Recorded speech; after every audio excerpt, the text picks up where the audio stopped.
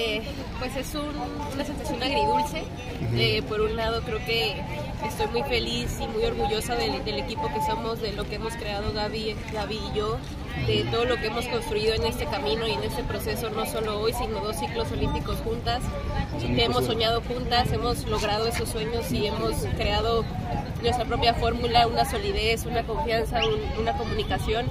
y de eso estoy muy orgullosa porque sé que lo luchamos hasta el final. Sabíamos que iba a estar muy difícil la competencia, que no había margen de error.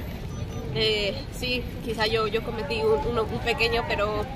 pero lo intentamos hasta el final, lo luchamos y por ese lado me quedo contenta de todo lo que superamos, todas las adversidades que, que, vivimos juntas y superamos juntas y de todas las lecciones que nos llevamos también en esa plataforma. Sí, sí, esto fue nuestra última competencia juntas, creo que es un gran orgullo y un gran honor para mí compartir plataforma con ella, todo lo que me ha enseñado y todo lo que me ha ayudado. Eh, creo que hubo momentos en que yo quería tirar la toalla y ella me levantó y eso se lo agradezco siempre, eh, el que soñáramos de la mano y,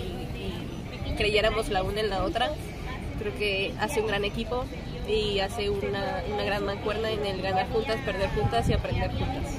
Sí, nos queda la, prueba individual, también es una prueba muy reñida, la plataforma femenil ahorita está eh, todas muy parejas, todas tenemos oportunidad, todas tenemos el nivel y la capacidad, así que no, no hay margen de error, hay que,